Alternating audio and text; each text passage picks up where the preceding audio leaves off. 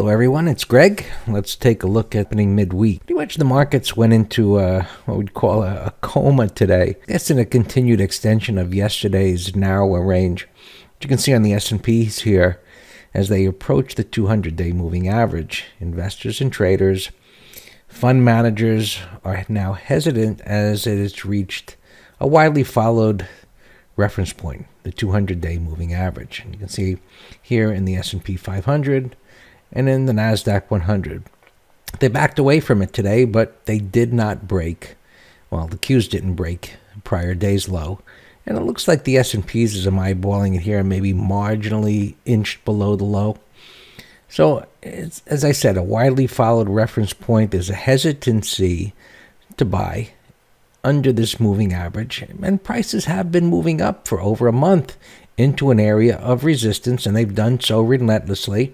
When they came up to this prior resistance point right here, they corrected sideways through time, and that was bullish. And then they continued to move higher, and now that they're at this reference point, which is in alignment with this price swing high, intelligent buyers are saying, hey, can this can really continue to go higher? It's already surprisingly that it's gone this high without any type of corrective action. Well, sideways corrective action, but nonetheless, pretty minor in comparison to the run that it had at that. And as I said, continue to move higher. So tomorrow, we're going to see if this will break below this low or whether it can get above this high. There's lots of earnings reports coming out tomorrow. There are no what we would call sector generals. Uh, the FANG stocks are not reporting tomorrow, uh, which we're going to take a look at to see what they're doing. It's a wait and see as to whether their prices are ready to pull back or whether they can continue higher up to the next level, of this swing high over here in the spiders and in the Qs.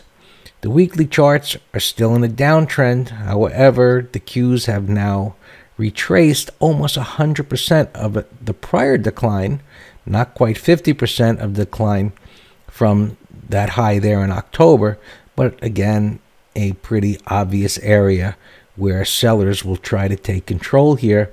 And what we're waiting to see, and I would assume, well, we've still got a couple of days to go in this week to see if this bar actually stays green, whether it ends with a topping tail, whether it might be a red bar, or say like this. And then next week, it's just an obvious area where to see a red bar form or a topping tail bar form and a correction start and the Qs as well as the spiders here, they're not quite up to that high. So a little bit of relative weakness, meaning it hasn't re retraced as far as the Qs have relative to this swing high. Nonetheless, it's close enough to some congestion area to turn lower if that's going to happen.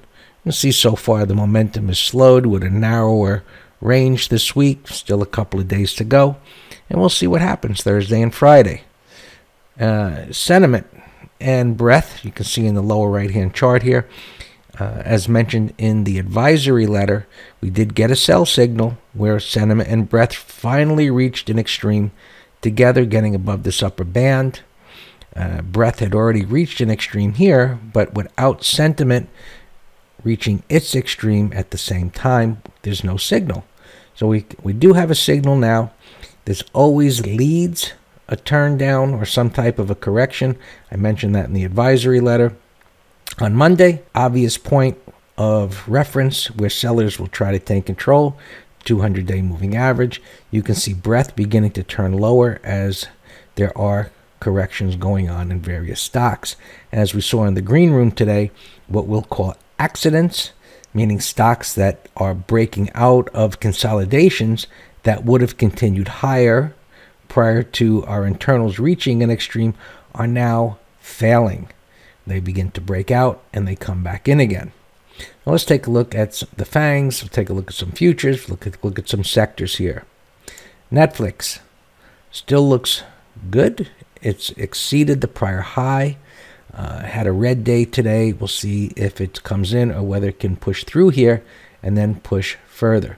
Set an alert above these highs, set alert below today's low, and a heads up as to which way that's going.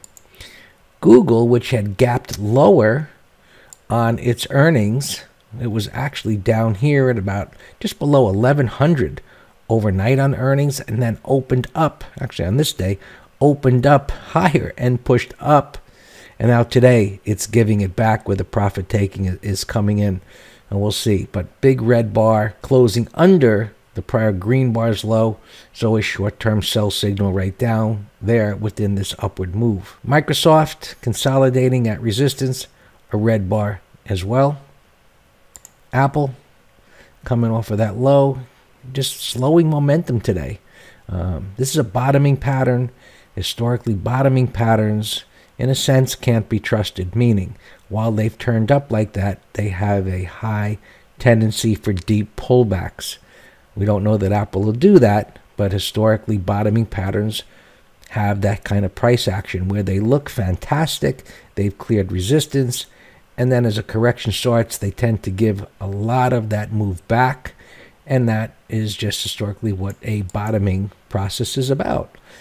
It bottoms, buyers come in, sellers take control, it has a deep pullback, and then eventually it creates enough of a bottom where it can start a strong upward trend again. Facebook, right, which had a great move on its earnings, stalled here in the area of the topping tail on the earnings day. It looks good, and this kind of a pattern we talk about this a lot in the in the trading room, uh, where gaps like this do not get filled, but they often have longer periods of consolidation where it could last a week, it could last a month. Uh, in any event, the gap doesn't get filled and eventually prices go higher. So it's a great sign when we see that kind of a gap on, on news and then it consolidates and begins to build up a new area of support. Futures are down a little bit here uh, after the close. Not much, but you can see today as we look at the futures chart, which are a 24 hour chart, you see the topping tail that formed uh, during the day, and just an obvious place again where prices would correct a little bit. One of the things I can point out here as to the price action, and I always like to point out to our subscribers some educational information um, without looking at indicators, how we can tell how momentum is slowing. So when a move begins to start and it's got great upward momentum and speed, you see the, the wide range bar there and the wide range bar there. Then you have a corrective bar. Sometimes it's a pullback. And you have an another move. And then correction, another push higher, corrective bar. And another little push higher, corrective bar.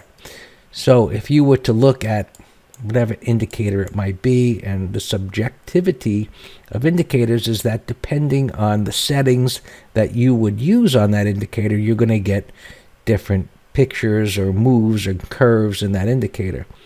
Nonetheless, looking at the price action, we see the strong momentum. And then it slowed a little bit. The consolidation, it pushed up, slowed a little bit from the prior move, and now we've got a corrective bar and it slowed even more. So when you look at indicators, what they show you is something like this. Right? Again, depending on the settings where you see some type of what's called a bearish divergence in the indicator, which is trying to show you what's happening in the momentum, the price momentum. If you know how to look at the price chart itself and that price action, you don't need this. And it's so much more clearer when you're looking at the price action versus trying to look at it through some other foggy glass, if you will, as to what it's trying to display here on the chart you know, just easy enough to look at the chart itself as to what's happening and understand that here momentum is slowing, here it increased, and the probability, now that our internals are in alignment, that prices would have some type of a correction. Now, when we think about corrections, we often think downward move. That's typically the way it happens after a move like this, but it could be a choppy consolidation sideways, what we call a time correction versus a price correction. It's yet to be seen. We'll see how it unfolds. Dow futures are down five points, no big deal. Little narrow range day today.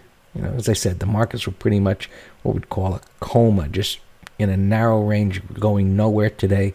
They were indecisive, waiting for who knows what. At this point. S&Ps, same thing. But when momentum slows in an area of resistance, we know that sellers are trying to take control. We'll see if they succeed and prices pull lower. Gold stalled today and began to pull in. The dollar pushed up a little bit. Another one of our discussions today in the green room. Bonds, pretty neutral day, going nowhere. Oil, going nowhere. You know, dipped down. Buyers came in again at support. But another example of strong momentum, fast momentum indicating higher prices. It went sideways at resistance, pushed up again, sideways, pushed up again, and now the pullback's a little deep, but we'll see what oil does here. Uh, euro, we've been getting some questions in the green room about the euro, which has just been in a sloppy kind of trading range, and you can see this head and shoulders type of pattern that's formed here. We'll see if it actually follows through. To the downside, um, we were looking for, based on our pre-market analysis, for this to go lower. It clearly did, and whether this is becoming a bottoming process here, you can see these swing lows. Uh, can it turn back up and get through this high or not? And this is from a daily chart perspective. It's a pattern that says stay away right now. And some sectors you know, financials, it's pretty much the same story in, in most places where momentum is slowing down. Uh, markets are waiting to see if they can push higher or not. Um, XLC, you can see this is the worst performing sector today in the S&P ETF sectors where it had gapped down and that was uh, TTWO was down about 14% today. Electronic Arts was down almost 14%, and ATVI was down just over 10%. Those were the main leaders to the downside within this sector ETF. The energy sector going nowhere. Technology stalling, narrow-bodied bar, reaching some resistance, had a great move here, actually further than what would be expected within a downward trend. Nonetheless, was a pretty big move here, and it's beginning to stall with our internals. As I said, finally gave a sell signal here, and we'll see um, how much it pulls back and corrects. Semiconductors had an excellent day, continued to move higher. Uh, Intel, which I'd like to take a look at with you, just to show uh, the the miraculous re recovery that it had here, where it had gapped down under all of this resistance here after a wide range bar day. You rarely see some kind of a comeback like this, where they it gaps down like this, and then it recovered and exceeded that. So, but it again stalled today as well. Uh, MU had a pretty good day today, moving higher. So semiconductors have been doing well, but just based on this ETF chart coming into resistance here. We think that's more likely to begin to stall. And here, a gap up after trending higher like this is more indicative of an exhaustion type of a gap than a continuation type of gap. And lastly, the healthcare sector, again, consolidating here, but had a decent day uh, against this topping tail that formed yesterday. So there you have it. Markets pretty much went nowhere today overall, and we'll wait to see if they uh, are going to start to correct here, moving under these recent lows, or whether they can consolidate and see if they can push a little higher here. Um, so that's it. Any questions, as always, give myself an email, Greg at Master Trader or Dan at Master Trader. Good trading.